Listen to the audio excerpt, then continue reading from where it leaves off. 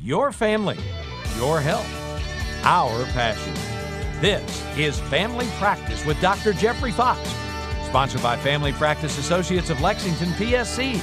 Visit us at fpalex.com and like us on Facebook. Welcome back. My next guest is Dr. Alexander Patterson, who is a allergist with the Lexington Clinic. And we're at springtime, and a lot of people have, like I say, itchy eyes, runny nose from the pollens and things. But that's not the only thing that causes allergies.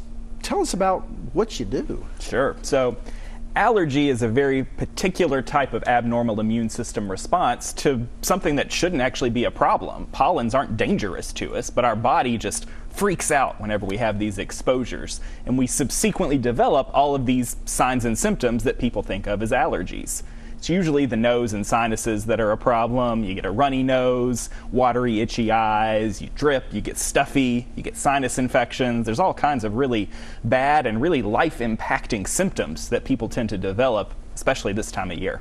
But it could be to anything. It doesn't have to be a pollen. Absolutely. So there are all kinds of things in the environment that cause us to have allergies. Pollens, both from trees, grasses, weeds, mold spores can be a problem. Pets like cats and dogs, other animals, horses, cows, all can be a problem. Dust mites are also another thing that are a problem. But those are just the environmental allergies. Medications, people can have allergies to. Foods, people can have allergies to. And then there's all kinds of other weird substances too, different cosmetics or topical products, and all of them can present in a lot of different ways. So sometimes it's tricky to sort out what the cause of a person's symptoms actually are. Well, you mentioned sorting it out. So how do you? They come to see that. What do you do?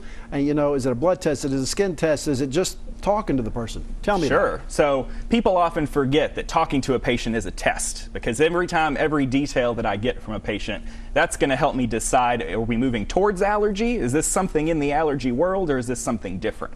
But you're right, testing is often where we end up, and especially for environmental allergies skin testing is one of the best ways we can do it. I actually brought one my little uh, tooth, uh, not tooth, it's a plastic toothpick is really what it is. We, we call it a skin prick test device, but it's a, a fancy medical toothpick. There's no metal though, there's no needle, it's not a shot. It's literally a little plastic toothpick. You know, I was looking at that and when you, when you showed me, first of all, because people, when they think skin test, they think, oh, you're going to do that, stick me 100 times? Oh, yeah. Well, people really blow it out of proportion. Now, it's not the most comfortable thing in the world. It's one prick per thing we're going to test you to. And so our standard environmental panel that we do is 60 different pricks. That's, that's our adult panel. But um, there, there's uh, you know any number of things that we can test people to when we're, when we're looking for that. But it, it's really not that bad. It's, a, it's one prick per thing we're testing you to.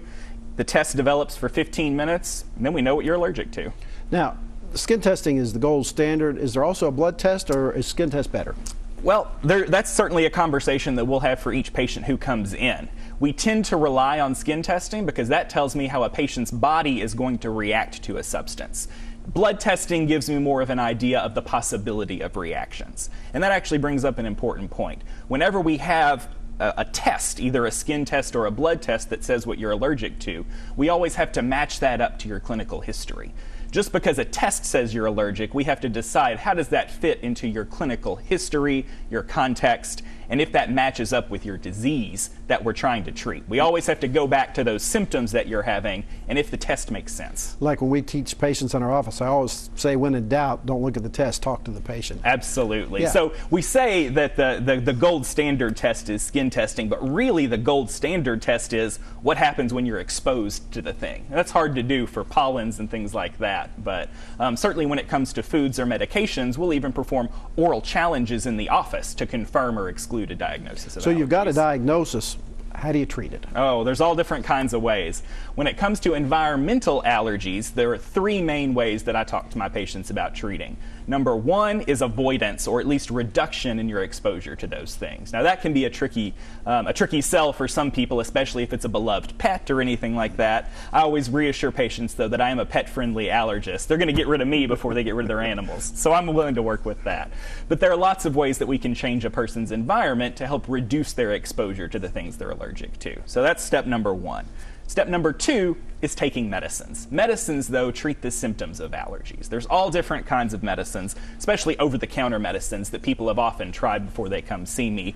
Allergy pills and nose sprays being the two most common ones. So I always, whenever I talk to patients about their medicines, we come up with a customized plan to help treat their symptoms based on their testing results to, to help improve their quality of life because medicines are what start to work the most quickly when it comes to allergies. And then step three is allergen immunotherapy, or more commonly known as allergy shots. So that is where we actually treat the root of the cause. We teach the body, the immune system, that all of these things it's reacting to, we, we try and teach it that they're not dangerous and that it's okay to see these things and not respond. And it takes a long time to teach the body that response. So allergy shots are certainly an option in our arsenal of tools that we have to help treat these allergies. Well, that's great information. We appreciate all you do.